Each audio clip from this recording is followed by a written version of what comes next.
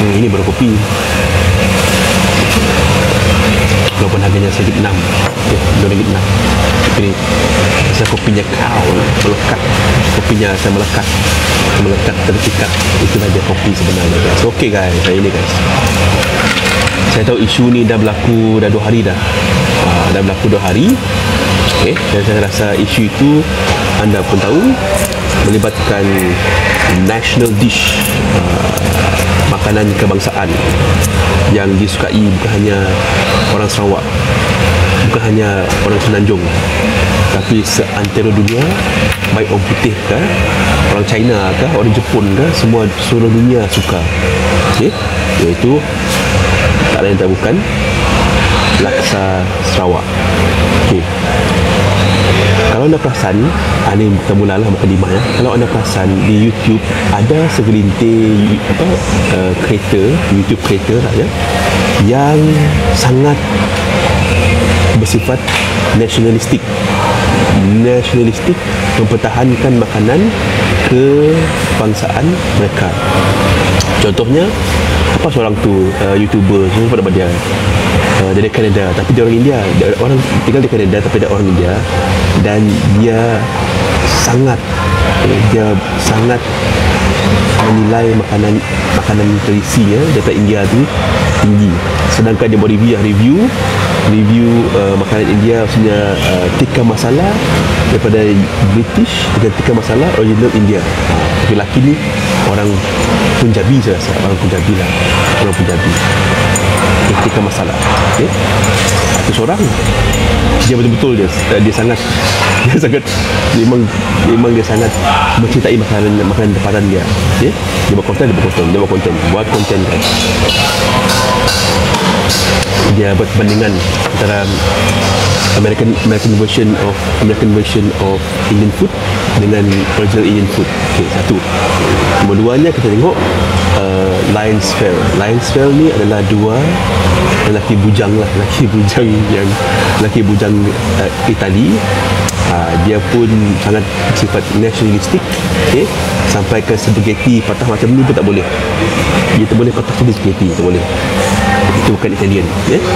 cara masak spaghetti pun dia komen sedangkan dia komen rakan youtuber dia rakan youtuber lah rakan youtuber dia juga seorang food apa uh, foodie lah iaitu Bayashi. Dia pun komen Bayashi. Bayashi yang masak spaghetti dia salah salah.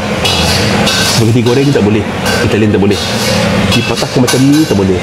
You makan pizza pun kena betul. Ha, itulah dia. Jiwa mereka. Jiwa apa jiwa mereka untuk mempertahankan makanan national dish. Uh, makanan mereka lah uh, itu contohnya untuk orang uh, untuk youtuber daripada India dan juga youtuber daripada Italy. Walaupun nampak macam apa konten tapi tengok betul-betul lah tengok betul-betul. Ada kadangnya kita fikir kalau diorang ni boleh mempertahankan makanan diorang patut lagi kehidupan kita. Uh, kita ni. Okey. Jadi saya bertanya lah saya bertanya-tanya lah okay? contohlah ya contoh okay? Kalau um, makanan tradisional seperti di Penang lah, kerana saya ni pun pernah belajar di Penang stay di Penang lah, walaupun Sarawak okay?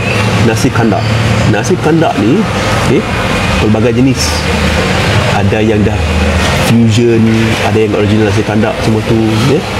jadi untuk anak mami ni anak mami okay, yang lidah dan tekaknya memang dari, dari kecil sampai besar makan nasi kandak bila mana mereka tahu bahawa ada ada mereka yang cuba untuk uh, adjust nasi kandak tu adjust nasi kandak semua tu adjust yang memang original lagi nasi kandak ah, itu jadi masalah lah masalah. Ah, ini negeri-negeri negeri-negeri yang memang famous dengan makanan macam Penang ni jangan sentuh. Hmm, jangan nak sentuh. Jangan nak komen. Jangan nak komen. Sangat. Ha, itu kalau tengok daripada aspek di Penang lah di Penang. Baik. Berbalik kepada ke Sarawak. Ok video viral ni ha, yalah anda sudah tahulah uh, seorang makcik dia makan bilang mi kari. Ha, mi kari tapi perbuatan aksi dia tu uh, macam tak best lah di mata orang Sarawak okay. pelik jugalah sebab kebanyakan mereka yang datang ke Sarawak daripada Semenanjung baik Semenanjung ke baik Sabah ke ataupun luar negara ke kalau mereka dah merasa laksa for the first time mereka datang balik lagi again again and again ah, tak ada masalah lahan Sarawak tak ada masalah okay? dan kemudian um, video tu video tu sama ada dilakonkan semula ke sengaja ke atau apa tapi semalam saya tengok dah up video TikTok.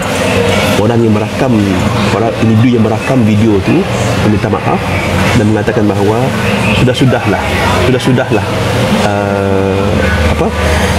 Apa uh, macam memarahi lah memarahi uh, wanita yang membuat aksi itu. Dia berkata dia yang bersalah. Dia yang ambil gambar tu. Dia ambil video tu tanpa kebenaran wanita tersebut kawannya tu. Dia ambil video tanpa kebenaran wanita tersebut. Tapi saya heran kenapakah perwatakannya kenapakah aksinya macam seolah dilakonkan? Bukannya seperti original apa seperti genuine ya? Uh, review genuine uh, ikhlas daripada seorang.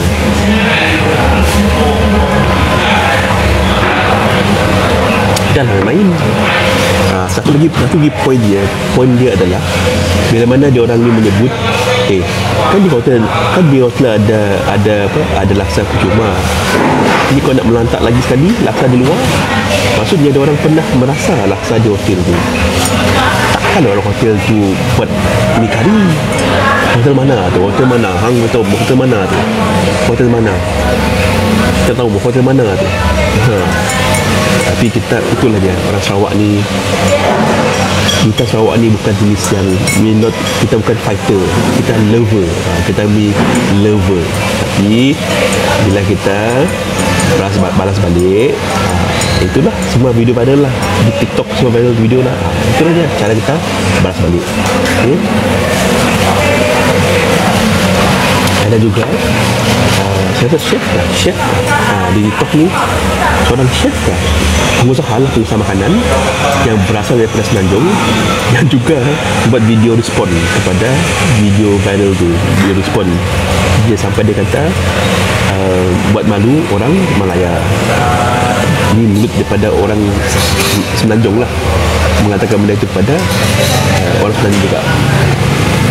Okay tapi sebenar-benarnya benda ni kena stop lah kena stop. Saya rasa kena stop lah kerana tak bagus lah sebenarnya. Bagi saya saya, saya ambil jalan tengah lah. Ambil jalan tengah tak bagus. Walaupun saya orang Sarawak saya rasa benda tu um, tak begitu manis lah. Okay? dan juga of course lah itu merupakan barang viral. Dan sekarang ni ramai orang mencari laksa. Ingat eh, ram, sampai sekarang saya rasa ramai orang mencari laksa untuk buat konten. Bukannya makan laksa untuk rasa kenikmatan laksa bukan. Orang buat konten shoot video buat konten up video sebagai video respon kebanyakannya. Itu yang itu yang saya rasa ya okay it's good for business good for business. Tapi dari aspek yang lain yang lain dan saya, saya pun Jangan saya pun question lah. Adakah ini Contoh Bully cyber Adakah ini contoh. Kelihatan Contoh Tindakan Bully cyber. Ha. Okay Bully cyber ni banyak. Bully cyber ni akan mengakibatkan uh, Masalah mental Fizikal Dan juga Pada akhirnya Merosakkan kesihatan ha, Itu mental fizikal Dan kesihatan. Bully cyber ni lebih teruk daripada bully sebenar. Kalau bully sebenar tu uh, Dipukul ke apa ke Apa kurangnya kita tahulah. Sakit badan semua tu lah. Tapi bully cyber ni Sampai ke sini dia makan. Dia makan dia, dia makan otak Dia makan hati Dia makan perasaan Tetapi Berakhir dengan Tragedi yang tak elok lah Macam Mungkin kes uh, Melompat daripada bangunan ha, Itu yang bahaya tu ha, Jadi saya rasa Video yang video yang dibuat oleh video yang dibuat oleh individu yang merakam merakam aksi tadi tu aksi makan laksa tu dekat the spring tu ha? dia pun terasa terasa apa terasa bahawa dia kena minta maaf lah kena minta maaf okay? kena minta maaf okay? Sama ada maaf tu dia terima atau tidak tak pastilah tapi saya rasa okay? walaupun tindakan reaction reaction daripada kebanyakan dalam orang Sarawak lah ya. reaction ini uh, ditujukan kepada ditujukan kepada yang pelaku uh, yang pelaku lah bukannya orang merakam tapi orang merakam tadi rasa bersalah kerana pelaku makcik tu dah stres. Uh, dah stres dan uh, macam tertekan lah tertekan dengan tindakan tadi. Kerana you kena faham bila benda tu viral semua orang Malaysia tahu. Dan video tu muka dia terang muka dia. Macam mana tu? So saya rasa kesimpulannya kalau kalau boleh sudah sudah lah ha, saya rasa sudah sudah lah saya rasa dia pun dah menerima pengajarannya. Saya tahu saya tahu dan pasti ha, masyarakat Sarawak ni adalah masyarakat yang lemah lembut dan juga um, sanggup kesanggup besar uh, dan ikhlas meminta maaf okey? Uh, okey masyarakat Sarawak. Masyarakat Sarawak ni memang walaupun dia lemah lembut tapi kalau dia marah tu uh, memanglah kalau orang Sarawak ni diam-diam. Diam-diam diam-diam berubi diam-diam berisi. Bila dia sebut sikit saja pun dia bertindak sikit saja uh, habis semua. Dan diperakui diperakui. Sebab kata oh, TikToker influencer tu uh, Tuan Hutan. Uh, Tuan Hutan. Uh, seorang askar. Bukan askar lah bukan askar. Major lah. Major besar lah ni bukan askar. Dan telah di train oleh cikgu cikgu yang train pandangan alam kau uh, major apa kan juga major sabda tu lupa nama dia jadi siapa-siapa maksudnya siapa-siapa yang pernah tinggal di Sarawak akan tahu bagaimanakah orang Sarawak ini sebenarnya. Ah, okay. Itu aja guys ceritanya, ceritanya cerita tentang Lahas Sarawak.